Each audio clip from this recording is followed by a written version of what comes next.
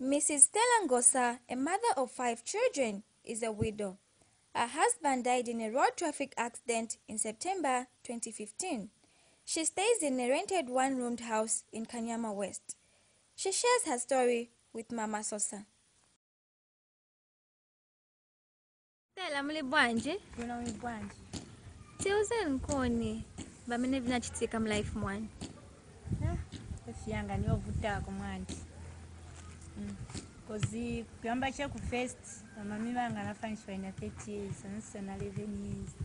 Pamodzi na mfana wanga. So tinakula soche mkusungiwa so tinakwatiliwa vamdala na vena vanga so vambuya vatate vanga vamai vanga usanafa kudala na vamdala so ninkhala na vana chapo nanga mumakwanisa bwanji kusunga vana Eh, ni mphamvu ya mulungu chabe otherwise so sometimes vakuchechi vamanithandizako batiso nachitako mapeace work so chabe mwina vana vanga bali five.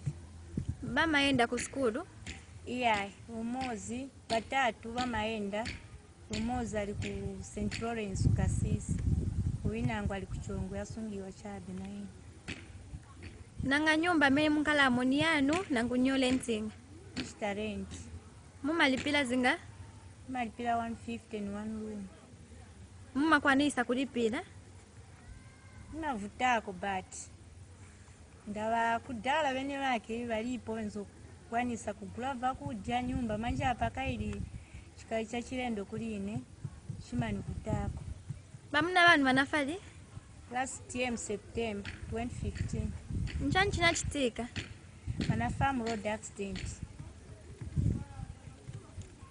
nanga popeza vokudya mumachitacha vamanitandizako vantu. Enangu anipasako unga venango anipasako kani ndrama so chabe. Ni mazuva mwameni nimapangira bajeti tivadye vanhu apa pamene munkhala munkhala na vana vanga? Vatatu. Vali pa nyumba pamene apa? Ee nili nawo onse. Vaenda kuti? Ku skulu vapunzira pa sikulu bwa Patowe Community School.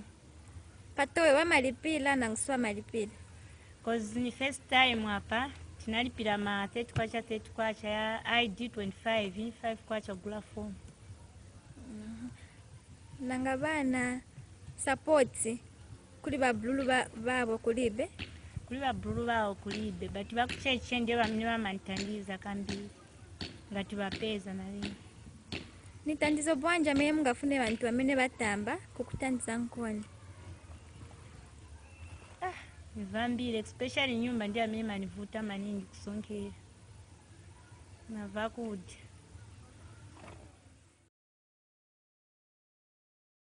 Beatrice Ngoma reporting for Mama Sosa in Kanyama West.